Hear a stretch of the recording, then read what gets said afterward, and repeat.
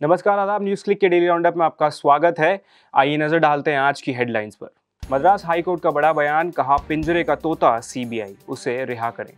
भारत ने अफगान नागरिकों के लिए आपातकालीन ई वीज़ा की घोषणा की। मुहर्रम का जुलूस कवर कर रहे पत्रकारों की पिटाई करने वाले पुलिस अधिकारी के खिलाफ कार्रवाई का आदेश। कोविड वैक्सीन, अमीर देश लगवा रहे तीसरे डोज, गरीब देशों को नहीं मिल पा रही वैक्सीन। और आखिर में कोरोना अपडेट, देश में पैंतीस नए मामले 440 मरीजों की मौत। मद्रास हाईकोर्ट ने सेंट्रल ब्यूरो ऑफ़ इन्वेस्टिगेशन यानी सीबीआई के बारे में एक बड़ी टिप्पणी करते हुए कहा है कि सीबीआई पिंजरे का तोता बनकर रह गया है। उसे रिहा किया जाना चाहिए। दरअसल पिछले कुछ सालों में सीबीआई ने विपक्ष के काफ़ी नेताओं के खिलाफ केस दर्ज कर जाँच आगे बढ़ाई है, जिससे लेकर भी उस पर भाजपा के नियंत्रण का आरोप लगता रहता है। पश्चिम बंगाल की मुख्यमंत्री ममता बनर्जी तो स्पष्ट रूप से कह रही हैं कि ये पीएम द्वारा कंट्रोल की जाने वाला, किए जाने वाला साजिश ब्यूरो ऑफ़ इन्वेस्टिगेशन है। आइए सुनते हैं मद्रास हाईकोर्ट के बयान पर वरिष्ठ पत्रकार अभिसार शर्मा का क्या कहना है। मद्रास हाईकोर्ट ने एक सख्त आदेश में कहा है कि तोते को आज़ाद करो, तोते यानी सीबीआई को आज़ाद दो उसे बिल्कुल चुनाव आयोग जैसी स्वायत्तता दो। यह मोदी सरकार के मुँह पे करारा तमाचा है, क्योंकि सात साल के अंदर अब जाकर आपको मद्रास हाईकोर्ट कह रहा है कि सीबीआई को आज़ाद करो। आपके स्क्रीन पर हिंदुस्तान की खबर, तोते को आज़ाद करो, सीबीआई को दो चुनाव आयोग जैसी स्वायत्तता हाई कोर्ट की केंद्र सरकार को सलाह। खबर क्या है दोस्तों, मैं पढ़ के सुनाना चाहता हूँ। दरअसल, मुद्दा यह हो रहा है कि सीबीआई कहीं ना कहीं भारतीय जनता पार्टी की पिछलग्गू बन गई है। वो उसका राजनीतिक एजेंडा पूर्ति करने का एक ज़रिया बन गई है। क्या कहा गया है अदालत में? आपके स्क्रीन पर। सीबीआई पर। बीजेपी सरकार का कंट्रोल। इधर सीबीआई ने बीते कुछ सालों में विपक्ष के काफ़ी नेताओं के विरुद्ध मामले दर्ज कर जाँच आगे बढ़ाई है, जिसे लेकर भी उस पर भाजपा सरकार के नियंत्रण का आरोप लगता रहा है। मद्रास हाईकोर्ट ने कहा कि एजेंसी की स्वायत्तता तभी सुनिश्चित होगी जब उसे वैधानिक दर्जा दिया जाएगा। मद्रास हाईकोर्ट ने कहा कि भारत सरकार को सीबीआई को ज़्यादा से ज़्यादा अधिकार और शक्तियाँ देने के लिए एक अलग अधिनियम बनाने के लिए विचार करने का निर्णय, का निर्देश दिया जाता है ताकि सीबीआई केंद्र के प्रशासनिक नियंत्रण के बिना कार्यात्मक स्वायत्तता के साथ अपना कार्य कर सके। यानी कि मद्रास हाईकोर्ट का यह आदेश बहुत मायने रखता है कि आप नए सेट ऑफ़ कानून लाएँ और उस सेट ऑफ़ कानून के अंतर्गत सीबीआई जो है वो स्वायत्त हो सके। बिल्कुल चुनाव आयोग के ज़रिए। मैं मद्रास हाईकोर्ट के इस आदेश का स्वागत करता हूँ और उसका तहे दिल इज़्ज़त करता हूँ। मगर मेरी कुछ आशंकाएँ दोस्तों। यह आंदोलन याद है आपको? अन्ना आंदोलन? लोकपाल को लेकर आंदोलन था। इस आंदोलन के पीछे आरएसएस की ताकत भी थी। पूरा का पूरा विवेकानंद फाउंडेशन, यानी कि राष्ट्रीय सुरक्षा सलाहकार का विवेकानंद फाउंडेशन, अजीत डोभाल का विवेकानंद फाउंडेशन इस आंदोलन के पीछे की ताकत थी। इस आंदोलन के अंदर असल मांग हुई थी लोकपाल बिल की, लोकपाल बिल लाए जाने की मजबूती के लिए। पिछले सात सालों में क्या हुआ, बताइए? लोकपाल की आप कुछ गूंज सुनाई देती है? अन्ना तो चलो गायब हो गए। मोदी सरकार, भारतीय जनता पार्टी, जो कि लोकपाल आंदोलन पर सवार होकर सत्ता में आसीन हुई थी, आजकल लोकपाल की कौन बात करता है? बताइए। तो कहने का प्रयास मैं ये कर रहा हूँ दोस्तों कि इस देश में कई चीज़ों की बात की गई, मगर पिछले सात सालों में उन्होंने भुला दिया। अब मद्रास हाईकोर्ट क्या कह रही है कि हमें चुनाव आयोग जैसी स्वायत्तता लाना है। जिस तरह की ऑटोनॉमी चुनाव आयोग की है, उसी तरह की ऑटोनॉमी होनी चाहिए। तो मैं आपके सामने एक प्रमाण देना चाहता हूँ। क्या आप जानते हैं, वैसे आप लोगों में से कई लोग जानते होंगे, अशोक लवासा लोकसभा चुनावों से पहले ये तीन चुनाव आयुक्तों में थे। क्या आप जानते हैं कि अशोक लवासा की भी जासूसी करवाई जा रही थी? पेगसिस के ज़रिए उनके फ़ोन का भी कथित तौर पर हैकिंग हुई थी। यह खबर आपके सामने देखिए। अशोक लवासा का क्या दोष था दोस्तों? अशोक लवासा का यह दोष था कि प्रधानमंत्री नरेंद्र मोदी और अमित शाह ने चुनाव आयोग के दिशा निर्देशों का जब जब उल्लंघन किया यह आदमी जो है, सामने आकर खड़ा हो गया था। इसने सवाल उठाए थे केंद्र सरकार से। और उसके बाद क्या हुआ? इनकम टैक्स के ज़रिए इनके परिवार को परेशान किया गया। सीबीआई के ज़रिए परिवार परिवार को परेशान किया गया और यही नहीं पेगसिस मामले में उनका नाम सामने आया है कि अशोक लवासा के फ़ोन की हैकिंग का प्रयास हुआ या हैकिंग हो गई। मैं फिर पूछना चाहता हूँ मद्रास हाईकोर्ट से, अगर आप कह रहे हैं कि सीबीआई को स्वायत्तता मिलनी चाहिए ऑटोनॉमी मिलनी चाहिए तो मुझे बताने का प्रयास करें कि अगर चुनाव आयोग जैसी आपको स्वायत्तता या चुनाव आयोग जैसी आपको आज़ादी चाहिए तो क्या इसके कोई मायने हैं? भारत ने अफ़गानिस्तान में तालिबान के कब्जे के बाद मौजूदा हालात को देखते हुए मंगलवार को घोषणा की कि भारत यहाँ आने की इच्छा रखने वाले अफगान नागरिकों के लिए एक आपातकालीन ई वीज़ा जारी करेगा। किसी भी धर्म के सभी अफगान नागरिक ई आपातकालीन एवं अन्य वीज़ा के लिए ऑनलाइन आवेदन कर सकते हैं और नई दिल्ली में उनकी अर्जियों पर कार्रवाई होगी।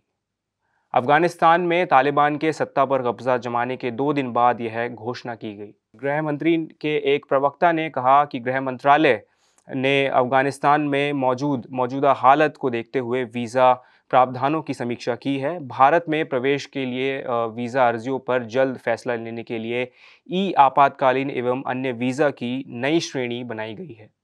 अधिकारियों ने बताया कि अफ़गानिस्तान में भारत के मिशनों के बंद होने के कारण वीज़ा के लिए ऑनलाइन आवेदन किया जा सकता है और नई दिल्ली में अर्जियों की जाँच की जाएगी। उन्होंने बताया कि शुरुआत में वीज़ा छः महीने की अवधि के लिए दिया जाएगा। आपको बता दें कि 20 साल बाद अफ़गानिस्तान से अमेरिका की सेना हटने के बाद तालिबान ने देश पर कब्जा कर लिया है, जिसके बाद से हालात भयावह बने हुए हैं। आलम यह है कि लोग एयरपोर्ट पर हज़ारों लाखों की तादाद में जमा हैं और उड़ान भरने व फ़्लाइट से ख़ुद को बाँध कर भी वहाँ से निकलना चाह रहे हैं, जिसकी वजह से अब तक करीब दस लोगों की मौत भी हो चुकी है। अगली खबर जम्मू कश्मीर से है, जहाँ के पुलिस महानिदेशक दिलबाग सिंह ने शहर में मुहर्रम का पारंपरिक जुलूस कवर कर रहे पत्रकारों के साथ अछावनीय व्यवहार करने वाले एक पुलिस अधिकारी के खिलाफ तत्काल कार्रवाई का बुधवार को आदेश दिया है। पुलिस ने यहाँ मुहर्रम जुलूस की रिपोर्टिंग कर रहे पत्रकारों के एक समूह पर मंगलवार को लाठियाँ चलाई थी और उन्हें मारा पीटा था। विभिन्न वर्गों द्वारा उसकी आलोचना भी की जा रही है। जम्मू कश्मीर पुलिस ने अपने आधिकारिक ट्विटर हैंडल पर कहा कि जम्मू कश्मीर के डीजीपी दिलबाग सिंह ने कल श्रीनगर में कुछ मीडिया पत्रकारों के साथ अछावनी व्यवहार को गंभीरता से लिया है। एसएसपी श्रीनगर ने दोष पुलिस अधिकारी के खिलाफ तत्काल कार्रवाई का निर्देश दिया है। पुलिस ने मुहर्रम के 10 दिन के शोक के आठवें दिन पारंपरिक जुलूस निकालने की कोशिश कर रहे कुछ शिया मुसलमानों को शहर के जहांगीर चौक पर हिरासत में ले लिया था और पुलिस पर जुलूस पर आँसू गैस से हमला करने के भी इल्ज़ाम लगाए जा रहे हैं। मीडियाकर्मी जब इस सबको कवर कर रहे थे तो उस वक्त पुलिस ने उन पर कार्रवाई करते हुए लाठियाँ चलाई। लाठियों लाठियों से लैस पुलिसकर्मियों ने कुछ पत्रकारों को पीटा और उनके उपकरण भी तोड़ दिए। इन पत्रकारों में अधिकतर फ़ोटो एवं वीडियो जर्नलिस्ट थे। कोरोना वायरस वैक्सीन को लेकर गरीब देशों में हलचल मची हुई है जहाँ एक तरफ़ विकसित और अमीर देश वैक्सीन की तीसरी डोज के लिए तैयार हैं वहीं दक्षिण अफ्रीका जैसे आर्थिक रूप से कमज़ोर देश में कमज़ोर देशों में एक बड़ी आबादी को अभी तक पहली डोज भी नहीं मिली है। ऐसे में इस गैर बराबरी को लेकर सवाल उठ रहे हैं। इसी मामले पर न्यूज़ क्लिक के editor in chief Prabir Purkayastha ने डॉक्टर सत्यजीत रथ से बातचीत की है। आइए सुनते हैं। Satyajit, very briefly, can you give us a picture of why the contradiction between what is good for rich countries who seem to be going in for a third booster dose and why the vaccination for the world, which is a public health demand which WHO has raised, is not happening? So, um, this is both an unsurprising and a deeply depressing state that we find ourselves in where we are between the devil and the deep sea, as it were. The issue is are we going to look at global public health or is each nation going to worry about its, its own public health no matter what, what the consequences for global public health are? So the rich countries are clearly making the argument that because the Delta variant uh, is well protected against as far as serious illness and death are concerned, by their current vaccines, but perhaps not as well protected by against transmission. Therefore, they say, in order to cut our transmission down, we need a third dose. And therefore, we can't give these vaccines to other needy countries which haven't even had a first dose.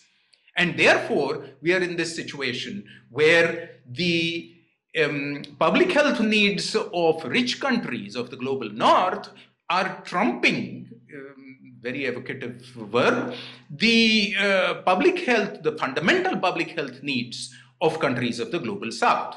And the reason why we have arrived at this point is a consequence of the capitalist logic of uh, COVID vaccine um, invention and development and production programs, where rather than doing a worldwide, open, inclusive development, comparative testing, manufacture, and deployment and distribution under the WHO's aegis, as the WHO had um, offered uh, to do in the early months of the pandemic, we have opted for the capitalist logic of big pharma primarily mediating this.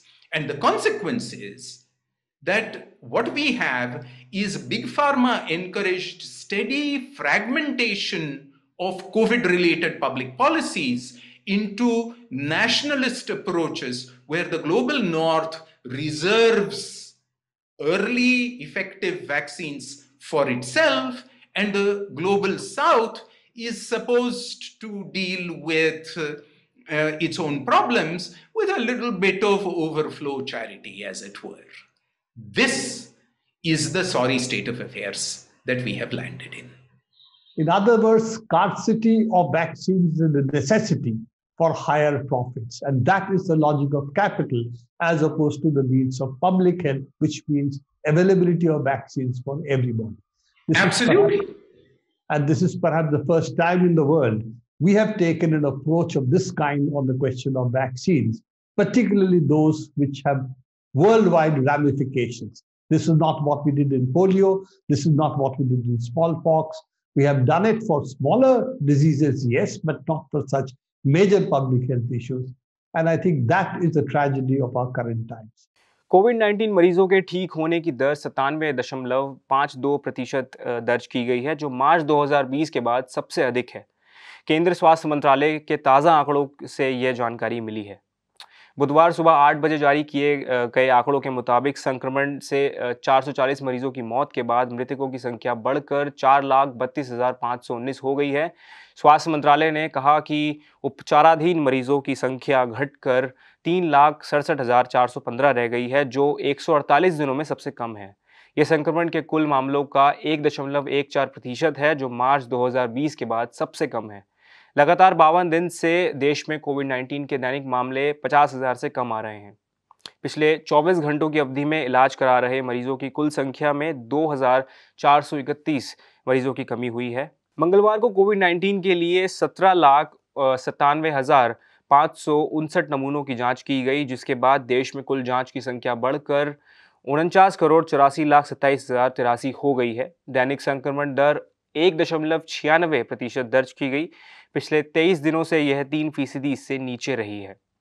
स्वास्थ्य मंत्रालय के मुताबिक साप्ताहिक संक्रमण संक्रमण दर एक दशमलव नौ पाँच प्रतिशत दर्ज की गई। पिछले चौवन दिनों से ये तीन फ़ीसदी से नीचे रही है। आंकड़ों के अनुसार बीमारी से स्वस्थ होने वाले लोगों की संख्या बढ़कर अब तीन करोड़ चौदह लाख पिचासी हज़ार नौ सौ तेईस हो गई है, जबकि मृत्यु दर एक दशमलव तीन चार प्रतिशत है। मंत्रालय ने बताया कि राष्ट्रव्यापी टीकाकरण अभियान के तहत अब तक कोविड 19 टीकों की कुल छप्पन करोड़ खुराक दी गई हैं। आज के डेली राउंडअप में बस इतना ही। हमारी खबरों को और विस्तार से पढ़ने के लिए आप हमारी वेबसाइट पर जा सकते हैं। हमें फेसबुक इंस्टाग्राम और ट्विटर पर फॉलो करें और साथ ही यूट्यूब पर सब्सक्राइब करें। न्यूज़ क्लिक देखने के लिए शुक्रिया।